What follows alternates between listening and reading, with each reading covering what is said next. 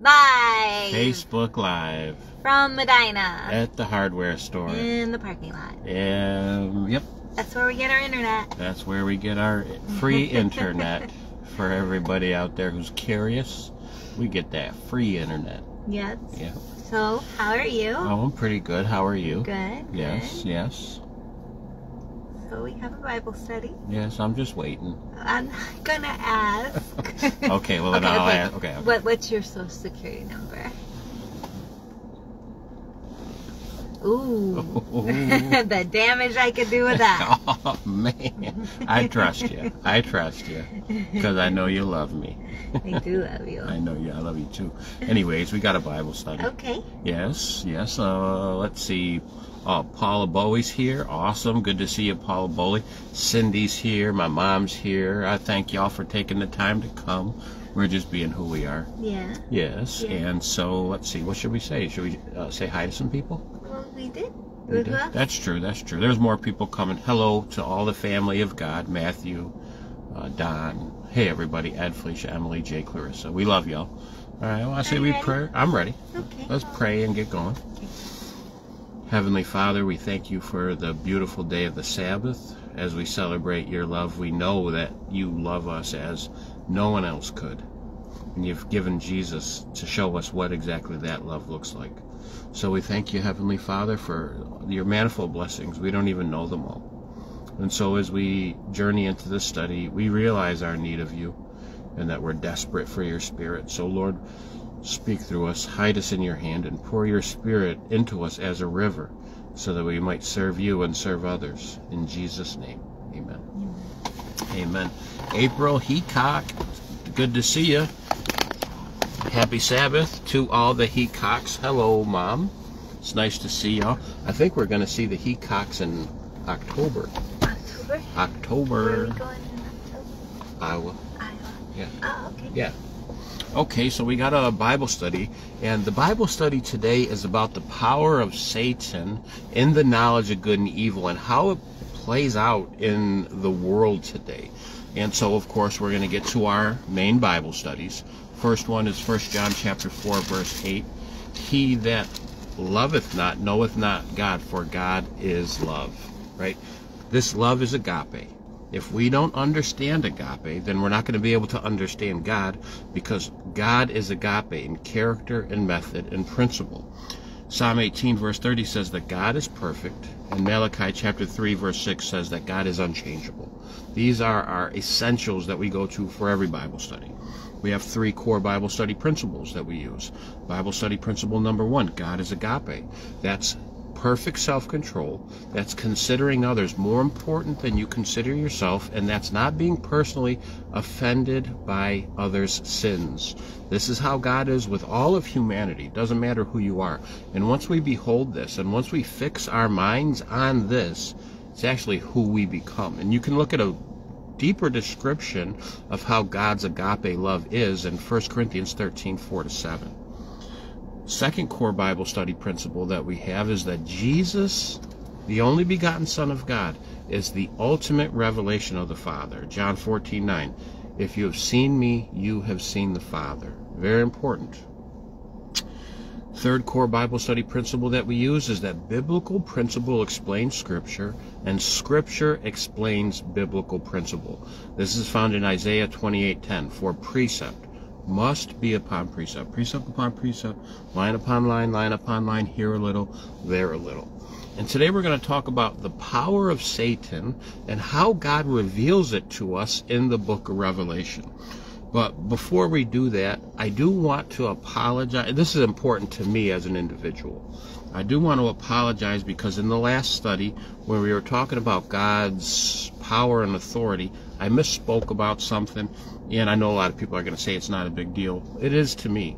Because as we are doing Bible studies and people are listening to what we have to say, uh, we don't want to put a wrong idea out there because we don't want to put this idea that's kind of misspoken about the character of God. And so I was talking about somebody asking me how I run the wood shop and what my authority is, and I miss I, I misspoke and I said, "Do you love me? Do you trust me?" Yes, yes. But that's not what I meant to say. What I meant to say was, do you know that I love you and do you trust me? And that's all the authority I need over anybody that's in my circle of influence my wife, my family, my mom, whoever you are, my friends, my enemies, right? And so it's very important for me to get that out. Set the record straight in my own mind. And last study, we looked at God's power of love, His truth, His freedom, His creation, His power to sustain, His power over time, and His power of forgiveness. And the point of all of that was that God's power over us was to protect us, it was to sustain us, it was to love us, it was to grow us in agape, it was to heal us, it was to save us. I totally get that God is a creator and it's right and just that he has authority over us. But the reality is, is God's view of authority in our minds is He just wants to know that we love Him, and that that He just wants us to know that He loves us, and we trust Him. And so God's authority is based on our understanding that God uses His power to love us. That's it. And that we trust Him with His power to love us, to protect us, and to sustain us. So God's authority is not to rule over us as a dictator, but his authority is as a role model and as a friend. John 15 15. John 15 15 says this Henceforth I call you not servants, for the servant knows not what his Lord does, but I call you friends, for all things that I have heard of my Father I have made known unto you. This is God's desire for us is to be his friend. And what kind of friend would seek to have worldly power and worldly authority over another friend? Not a good one. And so a true friend would always give love and expect trust in return. This is the basis for God's authority. The love of a father based on the trust of a children. This is not how Satan's power operates. This is not how Satan's authority operates. Revelation chapter 5, verse 6. Revelation 5 6 says this. And I beheld, and lo, in the midst of the throne and of the four beasts, and in the midst of the elders stood a lamb, as it had been slain, having seven horns and seven eyes, which are the seven spirits of God, sent forth into the whole world. So this is what we see. We see a slain lamb. We see seven horns, seven eyes, and seven spirits. We talked about this, that this is Jesus wielding the full power of the Godhead, protecting us, saving us, sustaining life through the character, the method, the principles of God's agape love. We see one beast, a lamb, we see one head, Jesus Christ, the full revelation of God's love.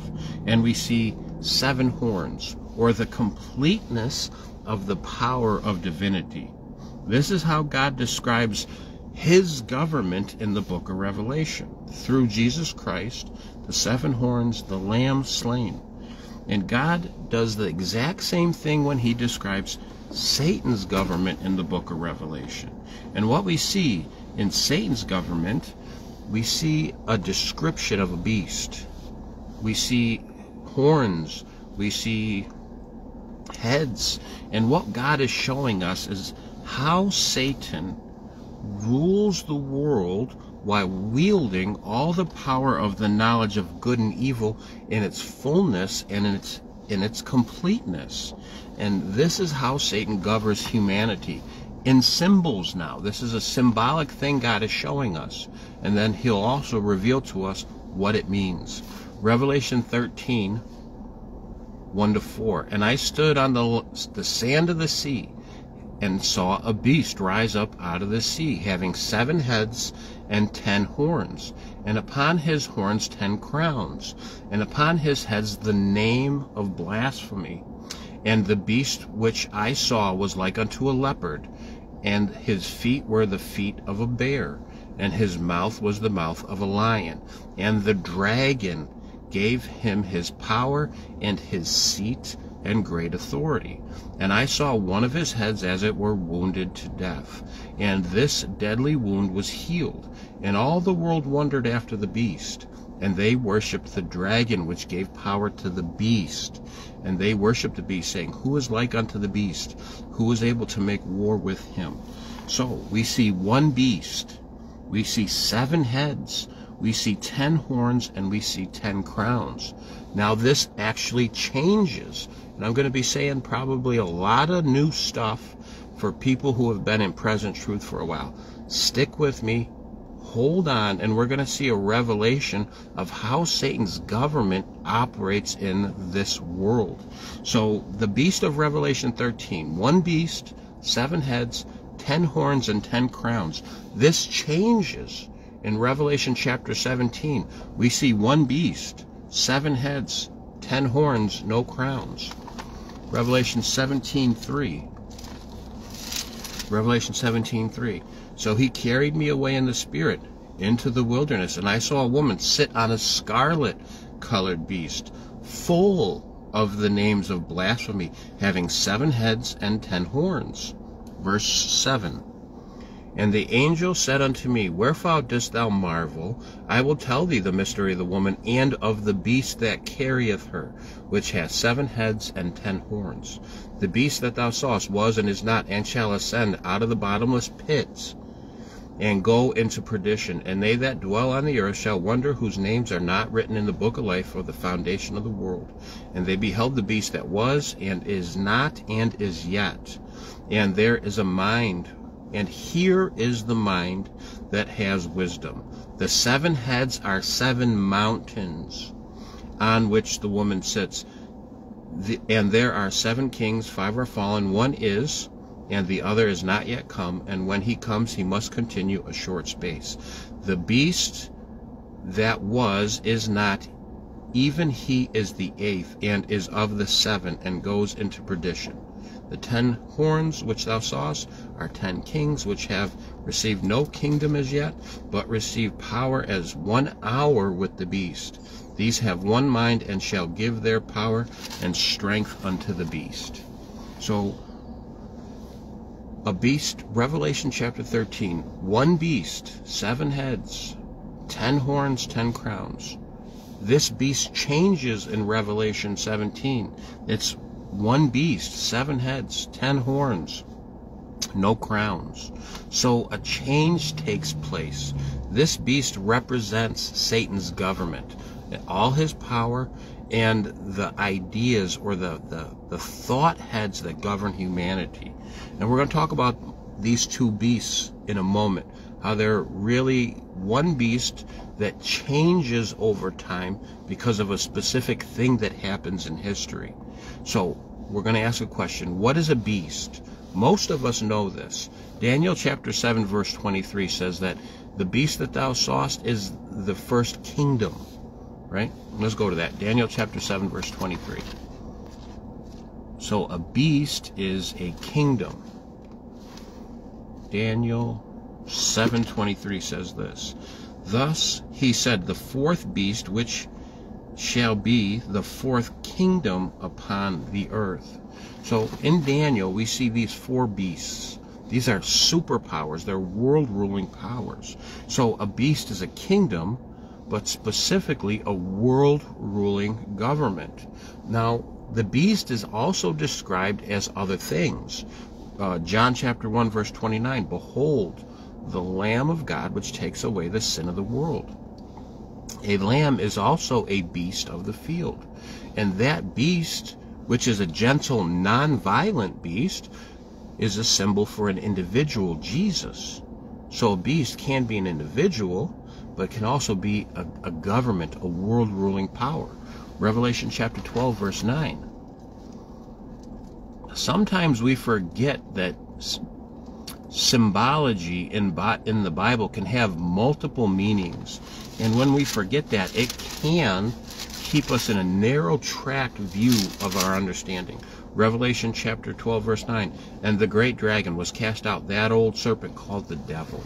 Now, the serpent was the beast of the field. And this individual, the serpent, the beast of the field, that's Satan. Right? So, a beast can be a kingdom and it can be an individual. We want to remember that. It's very important that we don't get locked into one train of thought. What are horns in Scripture? Revelation chapter 5, 6, we saw that the seven horns that Jesus wields are the seven powers of divinity. But Satan also has horns, horns of wickedness. Psalms 75, 4. Psalm 75, verse 4 says this I said unto the fools, Deal not foolishly, and to the wicked, Lift not up the horn. Lift not up your horn on high, and speak with a stiff neck. Verse 10 All the horns of the wicked also will I cut off, but the horn of the righteous shall be exalted. So the wicked also has power, which is symbolized in a horn. So the horns in Revelation 13 that are attached to the beast are a symbol for the power that it wields. But it can also be a symbol for the individual too. Luke chapter 1 verse 69. And we want to go through this to have in our understanding that there are greater understandings than just one limited view in Scripture. God does this so that we can become critical thinkers and not get stuck with tunnel vision when we're trying to understand the Bible. Luke 1:69 and he raised up a horn of salvation, a power of salvation for us in the house of David his servant. Servant. This horn of salvation is Jesus Christ, the individual king of the universe. This is also used in another place as well. Daniel chapter 8 verse 21. Daniel chapter 8 verse 21. Now and the rough goat is the king of Greece, and the great horn that is between his eyes is the first king. For those of us who have been around the block, we know that this horn is talking about Alexander the Great, right? And so a horn can be power, and it can also be the individual who's wielding the power. That's very important. So often in Scripture, biblical symbology will have multiple meanings. These symbols can be used by God and by Satan so that they can reveal to us different aspects of what's happening happening in the great controversy. And we don't want to get locked into the idea that only one view of biblical symbology is the only view. We don't want to do that. That's dangerous. It prevents critical thinking and it can lead to wrong ideas. So, Revelation 13 and Revelation 17 describe Satan's government in this earth as having one beast, ten horns, and seven heads, right? What do the seven heads represent in Scripture? Revelation 17:9. What do the seven heads represent in Scripture? Revelation 17:9. And here is the mind that has wisdom. The seven heads are seven hills, are seven mountains, on which the woman sits. Now, we've been taught one thing that these seven hills are the seven hills of Rome.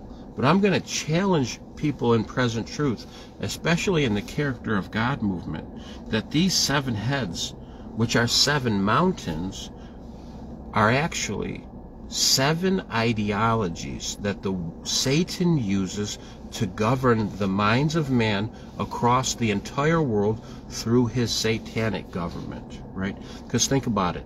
The head is where we think. It's where we reason. It's where we determine what's best for my life, right? The head is where we worship. The head is where our understanding is. And the mountain is, we're given two symbols here to understand this. The mountain or the high places is where people in the past, especially the children of Israel, is where they associated the presence of God with. Matthew, John chapter 4, verse 20. John 4, verse 20.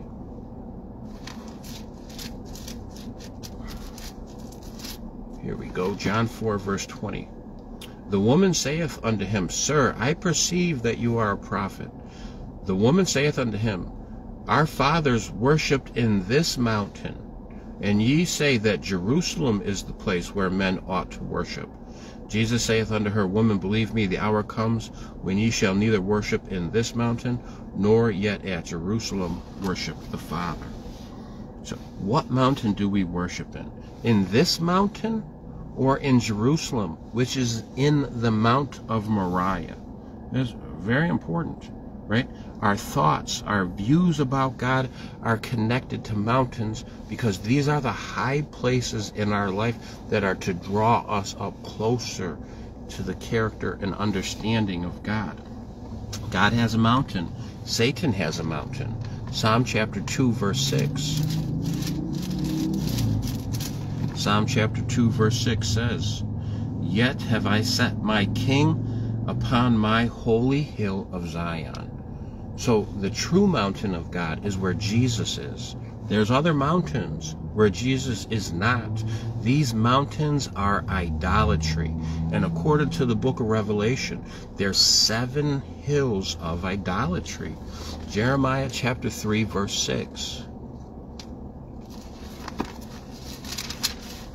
Jeremiah chapter 3, verse 6. The Lord said unto me in the days of Josiah the king, Hast thou seen which backsliding Israel has done? She has gone up upon every high mountain, and under every green tree, and has played the harlot. Very important, right? Israel plays the harlot on a mountain. The harlot in Revelation 17 sits on seven mountains. This is a symbol for the, the idolatry or governing principles, the wrong perspective that man has about God. So the seven heads in Revelation that the beast has are seven hills, which represent seven central ide ideologies that govern the minds of humanity in Satan's government. We're going to talk about that more in a minute. But in Revelation 13 and in Revelation 17, God is describing Satan's earthly government, and he uses the symbol of one beast, seven heads, and ten horns. They're important because the number 10 represents the completeness of earthly things. Right? They're in uh, the parable of uh, the wise and the, the wise and foolish virgins. We see ten virgins, five wise, five foolish. This symbolizes the wheat and the tares. This symbolizes the completeness of the worldwide church. There are Ten Commandments that were given to fallen humanity. This symbolizes the completeness of the duties of love mankind is to perform to God and their fellow man. We see ten toes in Daniel. This is the completeness of the powers of earth at the second coming of Christ.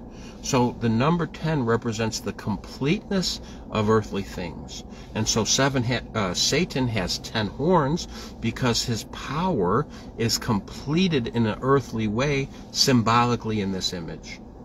Right? The number 7, the seven heads. We saw that the number 7 represents the completion of spiritual things, either holy or unholy. Right? We saw that the the completion of creation was symbolized by the Holy Sabbath. Right? You have Jesus, Revelation 5 6, wielding the seven horns, the seven eyes, the seven spirits of holiness right? The candlestick in the tabernacle, the golden lampstand that had seven branches, the completeness of holiness in the light that is given to the children of God. Very important. You also have seven unholy things representing the complete spiritual corruption that Satan does to the mind of humanity. Proverbs 6 16. Proverbs 6:16. 6, these sixteen these six things does the Lord hate.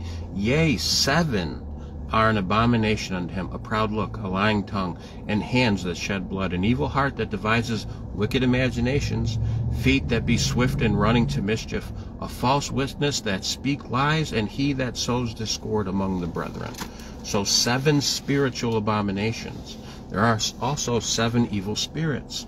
Matthew chapter 12, verse 43. Matthew chapter 12, verse 43 when the unclean spirit is gone out of a man, he walks through dry places seeking rest, and finds none. Then he saith, I will return unto my house from whence I came out. And when he is come, he finds it empty, swept, and garnished. Then he goes and takes with him self seven other spirits more wicked than himself, and they enter in and dwell there. And the last state of that man is worse than the first. Even so shall it be unto this wicked generation. So the seven heads represent the the complete spiritual corruption that Satan brings forth from the knowledge of good and evil that infects the minds of humanity throughout the, the whole world. The ten horns represents the earthly completeness of his power, and it's symbolized in this one beast. So in Revelation, Satan's government is symbolized by God to reveal to us how Satan's government operates and what it looks like. And we see one beast, we see ten horns, and we see seven heads. So as God describes Satan's government, he uses the symbol of a beast that devours. That's not like this the lamb of, like Jesus where it's a non-violent gentle beast. No, God uses a beast that devours to describe how Satan's government interacts with mankind. And he does it in a way where God describes the completeness of Satan's earthly powers as having ten horns. And he said he uses the seven heads as a way to describe the spiritual corruption that Satan does to humanity as the seven heads or the seven hills or the seven ideas of idolatry that corrupt the mind of mankind. And God does this twice in Revelation. He does it once in Revelation 13, and then he does it again in Revelation 17. Rep, listen to this character of God movement. Revelation 13 represents Satan, his government, his power, and the spiritual corruption prior to the false second coming. Revelation 17 represents Satan, his government, his power, the spiritual corruption after the false second coming. These are two different beasts or they're two different phases in Satan's end time worldwide government. The beast of Revelation 13 is the world being run by the knowledge of good and evil prior to the worldwide spiritual corruption of the false second coming. The beast of Revelation 17 is the world being run by the knowledge of good and evil during, during the spiritual corruption of the false second coming. We'll see this in a moment. So let's look at Satan's power. Now, this power is run by the knowledge of good and evil, right? God's power in every facet had its core essence. All of God's power stems from this central fact that God is love. So all of God's horns, all of God's power were holy spiritual perfection of love. Satan's power in every facet stems from the knowledge of good and evil. And Satan has ten powers in the earth unholy, spiritual, corruption in its completeness. Satan's powers are the power of lies. It's the power of knowledge or indoctrination. Satan's power is to create imposed laws. Satan's power is the power to accuse. It's the power to punish and condemn. Satan has the power to create value that's not there. Satan has the power to possess or own things. Think about that for a minute. Satan has the power of fear. Satan has the power of war. And Satan has the power of death. Satan has ten powers. All these powers come from the knowledge of good and evil. And all ten powers run every facet of society of society today and we're going to prove it. Let's look at these 10 powers. The power of lies. This is Satan's power. The power to speak falsely with the intention to deceive. Think about it. That's exactly how it all got started in humanity in Genesis chapter 3. This is Satan. This is where the source of his, this is how his power infects our minds. John chapter 8, verse 44. John chapter 8, verse 44. You are of your father the devil, and the lust of your father ye will do. He was a murderer from the beginning, and abode not in the truth, because there is no truth in him. When he speaks a lie, he speaks of his own power for he is a liar and the father of it. Now think about it. Does the world today use the power of lies? Absolutely it does. That power number one, the power of lies. Power number two, the power of knowledge. Now, this is not knowledge of truth. This is knowledge of lies and indoctrination. What is indoctrination? And not, indoctrination is the process of teaching a person or a group a set of beliefs not based in reality, educating people without thinking critically. This is Satan's knowledge, right? It's indoctrination, right? And Revelation chapter 12, verse 9 says this. Revelation chapter 12, verse 9. that and the great serpent was cast out, that old serpent called the devil and Satan, which deceives the whole world. Satan deceives the whole world through his knowledge of lies and indoctrination. And of course, we're going to ask the question, does the world today use the knowledge of indoctrination? Absolutely. Absolutely does. Satan's third power is the power to create and impose laws. Now, Satan is not a creator. He doesn't have the ability or power to create reality. Only God has that power. So instead of, because he doesn't have the power to create reality, he creates rules or laws with the idea that his rules and his laws will create order. That's important. And so the Satan's power to create and impose rules and laws this governs humanity as well. Revelation 13, 13. And he does great wonders so that he makes fire come down from heaven on the earth in the sight of men and deceives them that dwell on the earth by the means of those miracles he had power to do in the sight of the beast, saying unto them that dwell on the earth that they should make an image. This is a law now, which had the wound by a sword and did live. And he had power to give life unto the beast, uh, uh, unto the image of the beast, that the image of the beast should both speak and cause that as many as would not worship the image of the beast should be killed. And he causes all, both small, great, rich, and poor, free and bond, to receive a mark in their right hand or in their forehead, and that no man might buy or sell, save he that had the mark or the name of the beast. This is the culmination of Satan power to create laws. After the false second coming, he's going to create a system that says you can't buy, you can't sell unless you worship this. It's very important. Does the world today use the power of created and imposed law? It does. It absolutely does. And Satan's fourth power is the power to accuse right? That's the power to watch over others, looking for someone who is breaking the rules, right? The, this power doesn't just accuse people, it polices them. And Revelation chapter 12 verse 10 says that Satan is the accuser of the brethren. He's the one that watches over people looking for them to break rules so he can police them. Does the world today use this power to accuse and police people. It does. The power to enforce punishment also comes from Satan, right? His fifth power is the power of punishment and condemnation. The power to enforce a punishment or condemn others because of the rules that they were found breaking. That very important. 1 Timothy chapter 3 verse 6 says this. 1 Timothy chapter 3 verse 6 says this.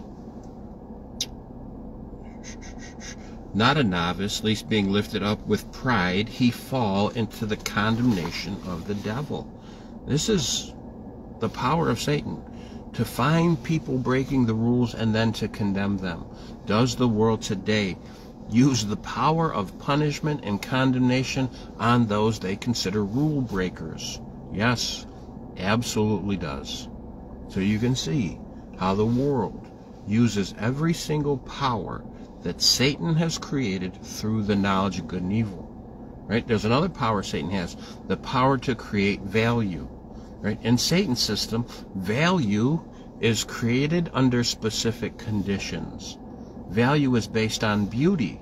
It's based on strength. It's based on intelligence. It's based on how scarce something is. Value is based on greed, supply and demand. Value is based on misrepresentation. Right? So you can have a, a, a value that's good. You can also have a value that's evil. And Satan says, if you have these things, you're valuable. And he also says, if you don't have these things, you're not valuable. Matthew chapter 4, verse 6.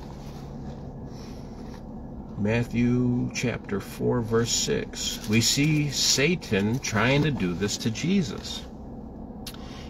Matthew 4, 6. And saith unto him, If thou be the Son of God, if you are, if you have the value of the Son of God, Cast yourself down, for it is written, He shall give his angels charge concerning thee in their hands, and they shall bear thee up, lest at any time thou dash thy foot against a stone.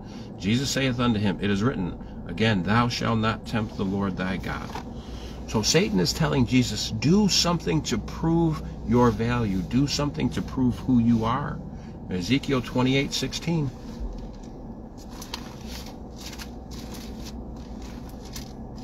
Ezekiel 28:16 By the multitude of thy merchandise they have filled thee with violence, and thou hast sinned. Therefore I will cast thee out of the mountain of God, and I will destroy thee, O covering cherub, from the midst of the stones of fire. Thine heart was lifted up because of thy beauty. Thou hast corrupted thy wisdom by the reason of thy brightness. And I will cast thee to the ground, and I will lay thee before kings, that they may behold thee. Thou hast filled thy sanctuaries by the multitude, thou hast defiled thy sanctuaries by the multitude of thine iniquities, and by the iniquity of thy traffic. Therefore I will bring forth a fire from the midst of thee, and I will devour thee, and I will bring thee to ashes upon the earth in the sight of all them that behold thee. So this system of iniquity, this knowledge of good and evil, it creates an inappropriate value system that lifts up some and defiles, brings down others, defiles everybody. But it's an inappropriate value system. And of course, we're going to ask the question Does the world today use the power of creating value? And absolutely does. Satan also has the power of ownership, right? Ownership is the act or the state or the right to possess something. Now, if we use our critical thinking mind, Psalm chapter 4, verse 21 says, The earth is the Lord's and the fullness thereof, the world and they that dwell therein. Everything is God's. All people, all the gold, everything, cattle on a thousand hills, everything belongs to the Lord. We're simply stewards of what He has given us. But Satan says you don't have to be a steward of God. You can take from God and own it yourself. Matthew chapter 4, verse 8 and 9. Matthew chapter 4, verse 8 and 9. Again, the devil taketh him up into an exceeding high mountain, and show him all the kingdoms of the world and the glory of them. And he said unto him, all these things will I give you, if you will fall down and worship me. Then saith Jesus unto him, Get thee hence, Satan, for it is written, Thou shalt worship the Lord thy God, and him only shalt thou serve. Satan says, If you do what I say, I will reward you with possessions. You won't have to be God's steward. We'll steal from God. That's, if you work hard enough if you're part of the right family, if you're lucky enough, if you lie, cheat, and steal, you'll be rewarded with owning possessions. You'll own things. Everything's God's. We own nothing. We're simply stewards of His. If you're in the good side of the knowledge of good and evil, you'll earn your possessions. If you're in the bad side of the knowledge of good and evil, you'll steal them. Does the world use this power of ownership today? Yes, it absolutely does. And we can see how the knowledge of good and evil is really a worldwide governing system that's a reward and punishment system. The whole world uses this, and we've been deceived and blinded to it. Another one of Satan's powers is the power of fear. Fear is the power to instill in one's mind an unpleasant thought, an unpleasant emotion that someone or something is dangerous. 1 Peter 5 8. 1 Peter 5 8 says this. 1 Peter 5 8. Be sober, be vigilant, because your adversary the devil, as a roaring lion, walketh about, seeking whom he may devour. Right? Satan roars like a lion and stealing fear with lies. A lion is very loud. It says that God speaks to us through the still small voice. So Satan's roaring with lies is by design to try to drown out the still small voice of God's love. This is all by design of Satan's wicked mind. Hebrews chapter 2 verse 14. Hebrews chapter 2 verse 14 says this, For as much then as the children are partakers of flesh and blood, he also himself likewise took part of the same, that through death he might destroy him that had the power of death, that is the devil and deliver them who through fear of death were all their lifetime subject to bondage. Satan is the one who instigates fear, which leads to the bondage of sin, which leads to death. 1 John 4:18 says this. 1 John chapter 4 verse 18. There is no fear in agape. There is no fear in divine love. But perfect love, divine love, casts out fear, because fear hath torment. He that fears is not made perfect in agape. That's very important. Think about these questions. Do governments use fear to manipulate and coerce their people? Yes, they do. Do schools use fear and manipulation to coerce their people into submission? They do. Do jobs, do churches use fear manipulation and coercion to get their people to submit. They do. Do families use fear, manipulation, and coercion to get their people to submit? They do. All of society runs off a satanic, fear based system, a system that literally breeds ignorance through its indoctrination. That ignorance produces fear. That fear produces hatred. That hatred becomes war. And this is how Satan has the power of war. It's through the ignorance he creates, which causes fear, which causes hatred, which becomes war. So Satan has the power of war. And war is a conflict between two groups. Usually it's an armed conflict. And this is what the Bible says. Revelation 12, 7. Revelation chapter 12, verse 7 says this And there was war in heaven. Michael and his angels fought against, they fought against the devil. And the devil and the dragon fought and his angels. See, Satan tried to usurp the throne of God. He presented the knowledge of good and evil to the angels as well. And there was a war in heaven. It was a war of words. It wasn't a physical war. But Satan started the war. Jesus ended the war in heaven right? Does the world use the power of war today? It does, absolutely does. And Satan's final power is the power of death. This is the power of taking life. In Hebrews chapter 2 verse 14 says that it's Satan who has the power of death. Hebrews chapter 2 verse 14. That through death he might destroy him that had the power of death, that is the devil. Does the world today use the power of death? It absolutely does. So these are the ten powers. These are the ten horns in the beast of Revelation 13 and Revelation 17. These are the powers of Satan. These are the powers that the world uses to govern itself. The power of lies, the power of knowledge or indoctrination, the power of created imposed laws, the power to accuse, the power to punish, the power to create value, the power of ownership, the power of fear, the power of war, the power of death. And this is so woven into the fabric of our reality and our minds that we actually can't imagine a society not run by these powers. Because throughout human history, these have been the only things to run every aspect of human society. Very important. So the seven heads, the seven hills, the seven ideas that govern man's mind in this satanic system. This is going to probably sound like a radical thing, but these are seven main philosophies that humanity uses either to worship God or not to worship God, right? And this is seven heads, seven hills, seven ideas.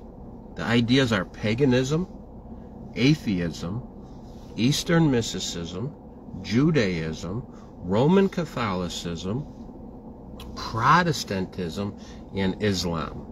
This is going to sound funny, but these are seven paradigms that the world uses with the ten powers of Satan to govern mankind. And Satan doesn't care what head you use. He doesn't care if you use Protestantism. He doesn't care if you use Catholicism. He doesn't care if you use atheism. As long as you use his idea and his power, he doesn't care how you fall into his Babylonian satanic web of deception, right? And the deception is so deep and it's so scary that some of these heads use the name of God to rule over people. This is really the deception of Revelation 12:9, right? Paganism is nature worship.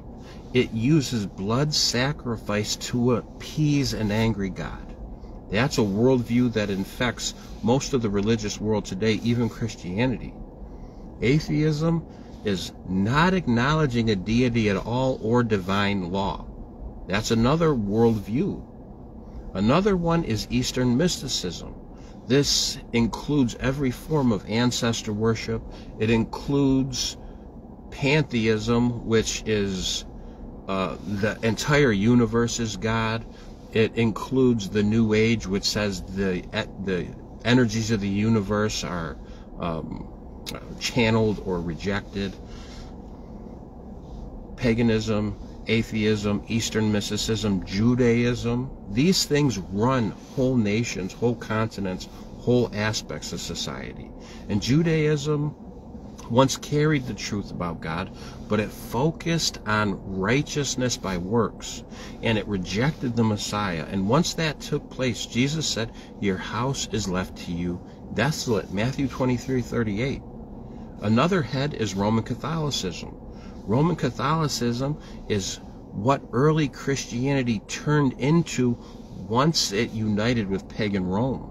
Catholicism uses the pagan idea of a blood atonement for the forgiveness of sins, and it changed the laws of God. Protestantism. Now, hear me out, fellow Protestants. My heart is the heart of a Protestant, but the reality is, is that once Christianity broke away from Catholicism, it became a Protestant, right? Yet, Protestantism still holds on to the idea that Jesus was a blood sacrifice to an angry God. That has its roots in paganism. That's a fact. That's just a fact. And the fourth or the seventh head, the seventh head is Islam, right? Islam broke away from paganism it became its own religion, but it rejects Jesus as the only begotten Son of God, and it claims the blessings of God from Abraham through Isaac, through Ishmael, and not Isaac. That's very important. And this, sounds crazy, this sounds new, but this is how Satan runs the world through these seven different philosophies that govern the man, man's mind. If, it doesn't matter if it's in the Middle East or China or America. This is how Satan does it. And he does it with the ten powers. Right? And a lot of these worldviews didn't exist when John wrote the book of Revelation. So how can I say these things? Revelation chapter 1 verse 1. Revelation chapter 1 verse 1. The revelation of Jesus Christ, which God gave unto him to show unto his servants the things which must shortly come to pass. So when John wrote these things, some of the things existed in his time, some of them didn't. And God is giving this to John to tell us what the world is going to be like at the end of time. So, seven worldviews that dominate the minds of man. And of course, we're going to ask these questions. Does paganism and atheism use lies, indoctrination, impose laws, accusations, punishment, created value, ownership, fear, war, and death to govern itself and others? It does. Does Eastern mysticism do the same thing? It does. Does Judaism use the powers of Satan to govern itself and others? It does. Does Islam do the same thing? It does. Does Roman Catholicism use the powers of Satan to govern others and itself? It does.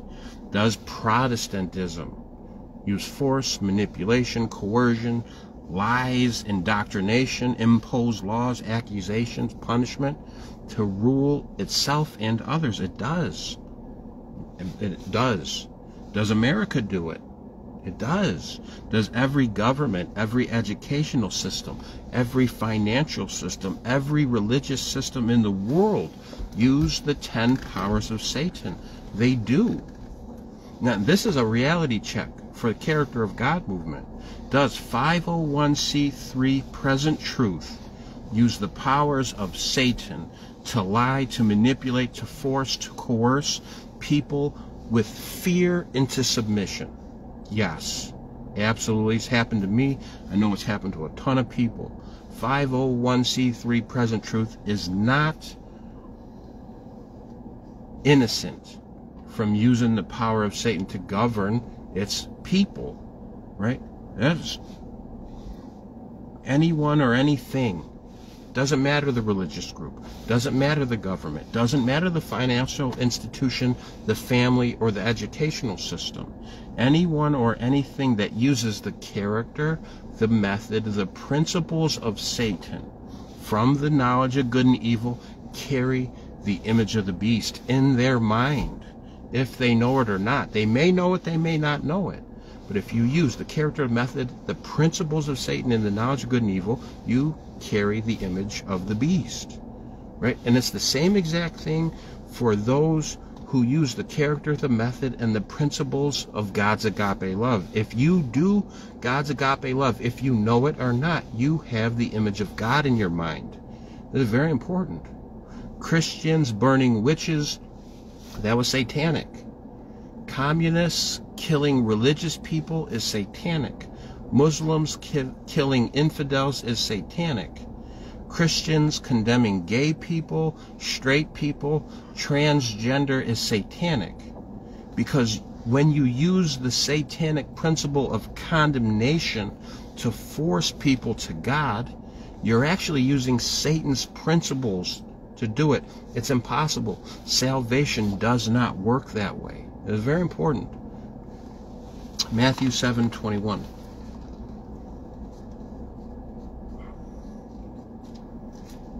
Matthew chapter 7, verse 21. Not everyone that saith unto me, Lord, Lord, shall enter into the kingdom of heaven, but he that does the will of my Father which is in heaven.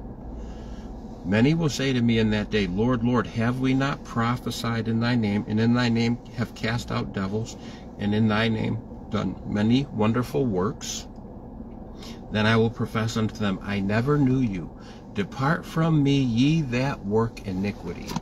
We're talking about Christians who work iniquity, Christians who use Satan's system. That's very important. Depart from me, you that work in Satan's system of iniquity, which comes from the knowledge of good and evil. That is very important. Revelation 18:2.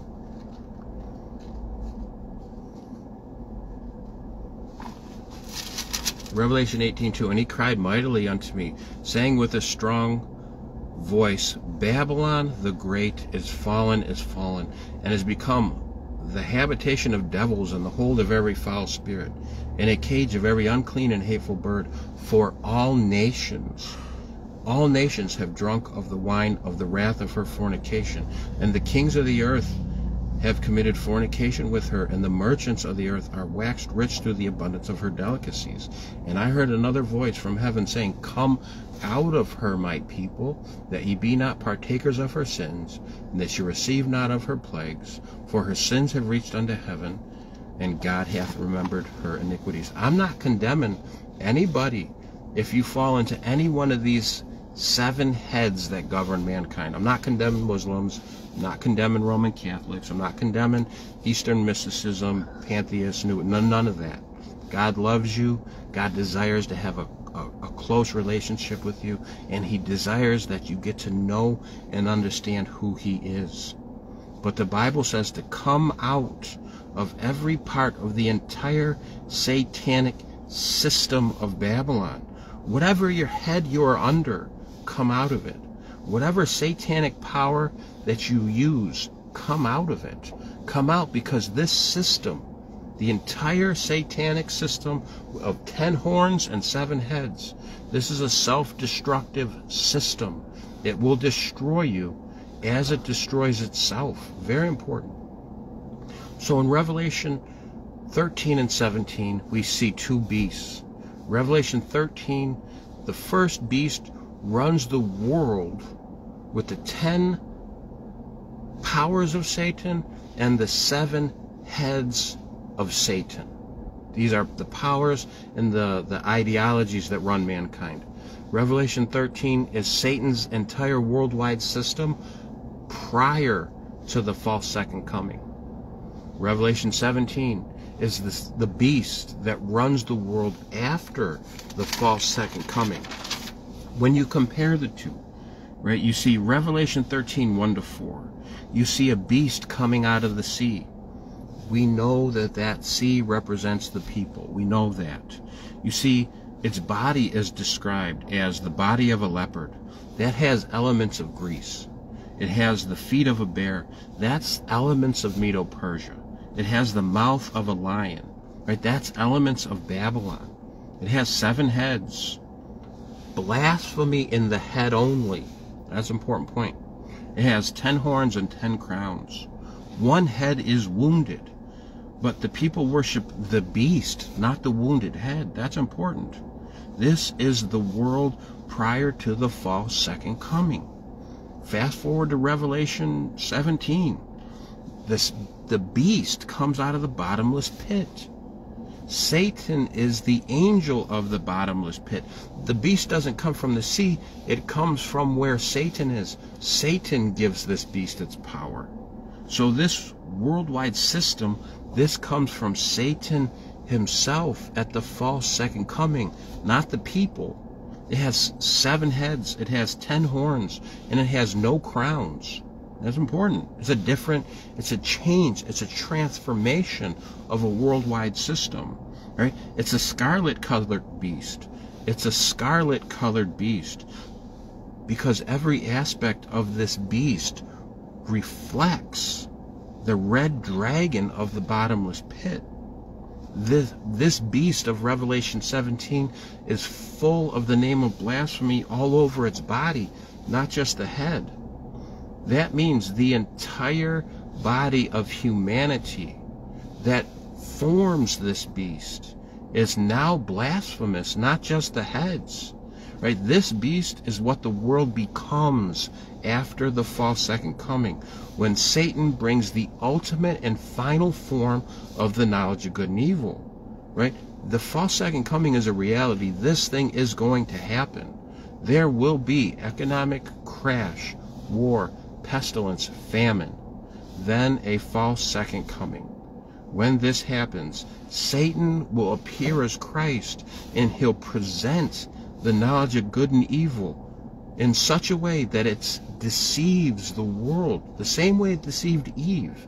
And when he does this, he'll present the knowledge of good and evil in its most complete and corrupted form.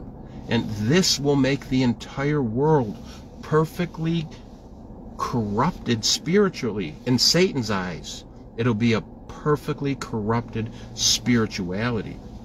2 Timothy 3 1.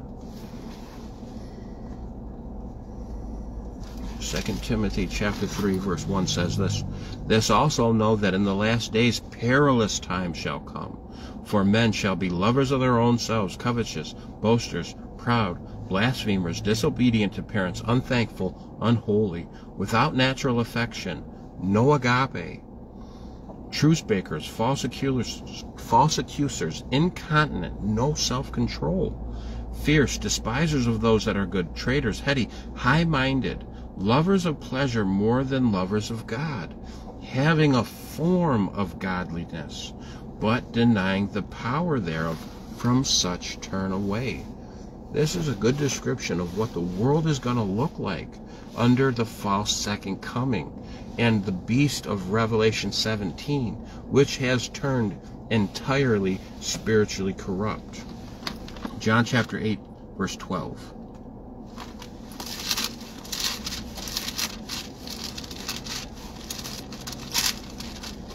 John chapter 8, verse 12 says this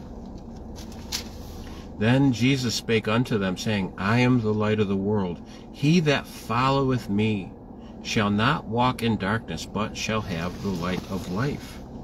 Right? Revelation 14:4 says that these 144,000, they're not defiled with women. They're not defiled by the satanic religious systems that use the power of the knowledge of good and evil. They follow Jesus. They follow the Lamb. They follow truth, whithersoever it goes. And the Bible says, John 8 12, when you follow Jesus, you have the light of the world, and you cannot walk in the darkness of Satan's lies. Matthew 24 21. Matthew chapter 24, verse 21. For then shall be the great tribulation, such was not since the beginning of the world to this time no, nor ever shall be. And except those days be shortened, there shall no flesh be saved. But for the elect's sake, those days shall be shortened. Then, if any man say unto you, Lo, here is Christ, or there, believe it not. For there shall arise false Christs, false prophets, and shall show great signs and wonders, insomuch that if it were possible, they shall deceive the very elect. Behold, I have told you before. Therefore, if they say unto you, Behold, he is in the desert, go forth not. Behold, he is in the secret chambers, believe it not. The great tribulation of the false second is coming. The midnight hour, Earth's darkest moment in history, is coming. And the only way to prepare for it and endure through it is through Jesus. The only way that Jesus can show us the truth of God's agape love is if we believe his testimony that if you have seen me, you have seen the Father. When you believe this, when you fixate your mind on it, Jesus will shape and mold you in God's agape love. Only this can strengthen us to get through the time of trouble. Only this can strengthen us through the time of the shaking. Only Jesus can strengthen us in God's agape love to get us through the false second coming. Only Jesus can do this. Only Jesus can help us overcome sin, self, Satan, and the world which will enforce the image, the name, the number, and the mark of the beast, which will be the final and completed form of the knowledge of good and evil that Satan brings at the false second coming. Character of God movement. We need to prepare for this. Let's pray. Heavenly Father, we thank you for the blessings of warning from Jesus Christ himself.